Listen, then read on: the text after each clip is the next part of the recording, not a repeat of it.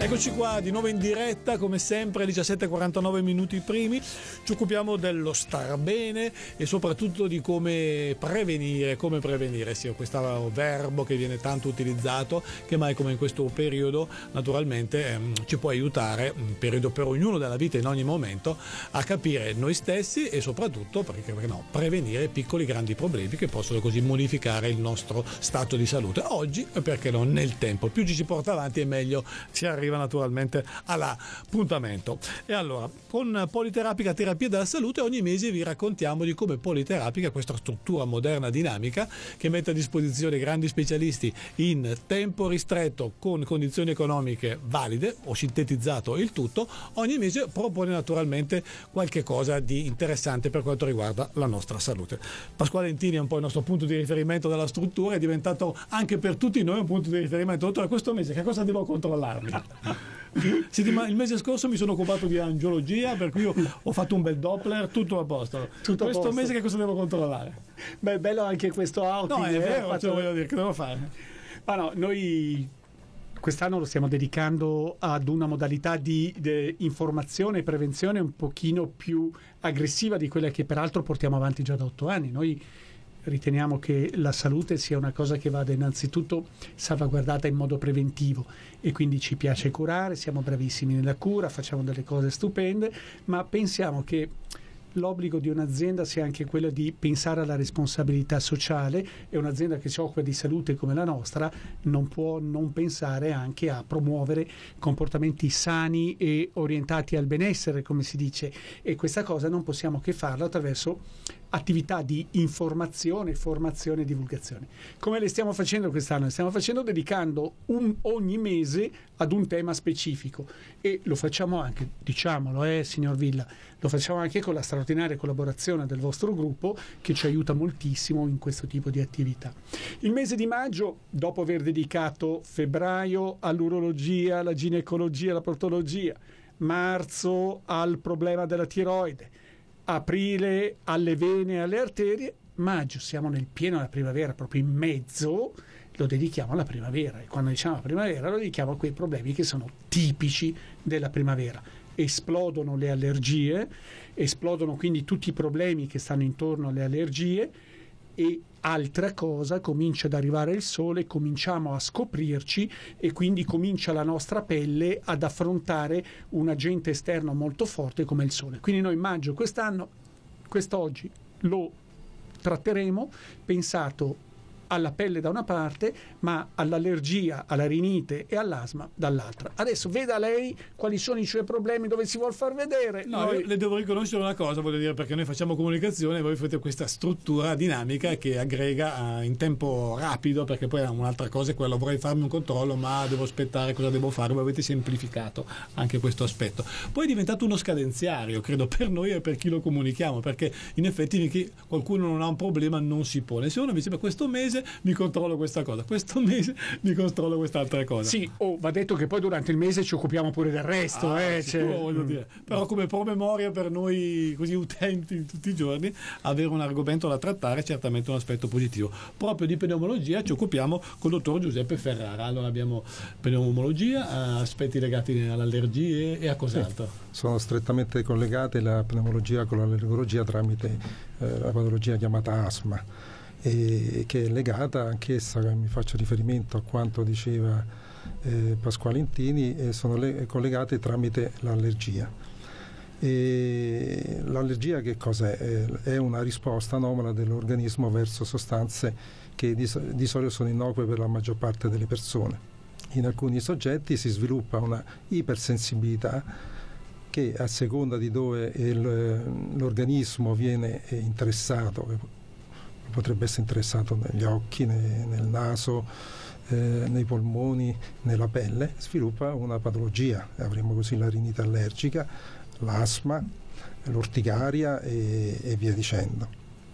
La pneumologia in questo entra nel, nell'individuare eh, quelle difficoltà che sorgono nella respirazione di determinati soggetti che ancora non hanno capito eh, che si sta sviluppando una patologia allergica.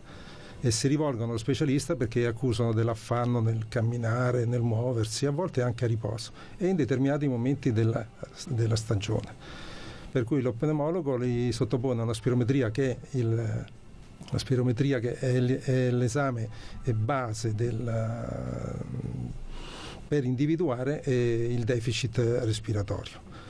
La spirometria in che cosa consiste? Consiste nel soffiare in un apparecchio se, eh, seguendo le istruzioni eh, dello specialista. Una volta terminato l'esame eh, si misurano i valori eh, che ne scaturiscono, per cui paragonandoli con eh, i valori standard di una popolazione base si può dire se c'è un deficit ventilatorio di tipo ostruttivo e, e di e quindi prendere gli adeguati provvedimenti terapeutici Infatti, e, o indagare ulteriormente. In effetti questa settimana, questo mese Politerapica Terapia della Salute offre proprio la valutazione della capacità polmonare e l'esame gratuito con spirometria. Sì, questa è una delle tre cose che facciamo questo mese. Noi domenica 10 a chiunque lo desideri, chiediamo solo la cortesia di prenotarsi perché dobbiamo gestirlo al meglio, offriamo la possibilità di una valutazione in termini di screening una valutazione seria comunque di quelli che possono essere problemi di tipo allergico, una valutazione, e questo è il secondo, sempre in termini di screening, ma comunque in modo molto serio, di quella che è la condizione della pelle con particolare riferimento ai nei, e l'abbiamo chiamato volutamente uh, screening per la diagnosi precoce del melanoma, questo è un tema sul quale varrebbe la pena spendere due parole, magari dopo lo facciamo. E la terza cosa, questa domenica 17, sarà dedicata esclusivamente col dottor Ferrara al tema della capacità ventilatoria, quindi la capacità di respirazione misurata con la spirometria.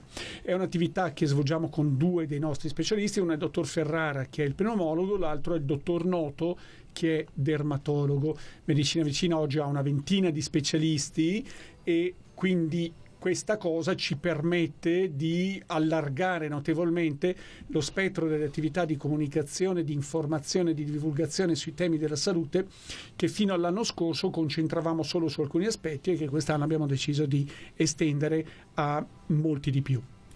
Ecco, magari ancora un riferimento con il dottor Ferrara. Allora, lei ha parlato di spirometria, questo esame che sì. dà un po' la volumetria no, dei nostri esatto. polmoni. Poi cos'altro può essere interessante sapere del nostro apparato respiratorio? Io ho parlato del, dell'asma, ma c'è anche tutta un'altra gran fetta di patologie respiratorie che è la broncopatia cronico-ostruttiva. È, è la patologia che, che è favorita dalla, dall'uso della sigaretta e si sviluppa col passare del tempo nella maggior parte dei fumatori. E, e la spirometria in questo, in questo, caso è molto importante perché misurando i parametri respiratori non quando, quando si è già sviluppata la patologia, ma preventivamente, qui mi faccio un appello anche ai medici di base di sottoporre ai propri assistiti a controlli spirometrici in determinati soggetti a rischio, quale il fumatore. Noi, ehm, potremmo prevenire consigliando adeguati eh, provvedimenti come l'estensione dal fumo, eh, la, diminuzione, la, diminuzione, di esposizione agli allergeni, agli inquinanti e via dicendo, potremmo aiutare la persona a non sviluppare la malattia eh, futura, ma o quantomeno ridurne i danni e i deficit eh, di tipo respiratorio. Quindi con questo screening si possono avere indicazioni sul nostro apparato, apparato respiratorio e quindi eh, fare un punto della situazione e poi decidere cosa fare, se perseverare eh, sulla strada ci porterà inevita- inevitabilmente a eh, patologie future o riuscire a frenare per tempo e cambiare strada e quindi preservare la salute. O scoprire anche di star bene. Sì, certo. Senta, poi arriva il sole, certo. adesso chiudiamo con questa cosa solare. No? Arrivano, vedo in Sardegna, qualcuno si muoverà a 25, 28, 28 gradi il sole, ci esponiamo al sole e... La pelle? Ci esponiamo al sole e scopriamo che la pelle non è soltanto una cosa che sta lì, ma è un organo di un'importanza enorme. Teniamo presente che la pelle è considerato l'organo più grande del corpo umano, misura due metri quadri, non è uno scherzo, la pelle di un uomo adulto e scopriamo che la pelle ha delle funzioni essenziali è un organo molto complesso fatto di tutta una serie di strati all'interno dei quali ci stanno diverse parti, pensiamo alle ghiandole sebacee, pensiamo alle ghiandole pilifere, pensiamo allo strato necessario per permettere la traspirazione dall'interno all'esterno a proteggere dal calore e però poi scopriamo che la pelle può ammalarsi, può ammalarsi e può ammalarsi anche in modo estremamente serio.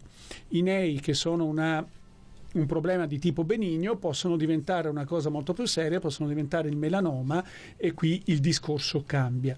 Si apre una discussione enorme su quanto il sole favorisca o non favorisca la malattia della pelle, si apre poi un altrettanto enorme discussione su quali potrebbero essere le modalità migliori per proteggerla. Comunque quel che è certo è che quando parliamo di melanoma parliamo di un tumore che è estremamente complesso, estremamente brutto, ma che se diagnosticato per tempo può essere trattato con buonissime possibilità di successo. Per cui quando parliamo di melanoma parliamo di un problema che deve essere assolutamente affrontato con un approccio di diagnosi precoce. Da qui lo screening può essere un momento estremamente importante, come lo screening è un momento importante per, le, per i problemi di tipo respiratorio perché ci può impedire di peggiorare e di avere patologie molto più gravi, sulla pelle è una modalità estremamente efficace ma d'altro canto, mi scusi un attimo, noi ci poniamo il problema di sottoporre l'auto a tagliandi periodici per Perché ci obbligano, se no non ci fanno circolare. Eh, Bisognerebbe farlo capi... tagliando anche per la circolazione degli esseri umani. Ho capito, però il fatto di sottoporre a tagliando i polmoni o sottoporre a tagliando, che non vuol dire adesso da domani andare ad affollare il sistema sanitario nazionale o andare ad affollare,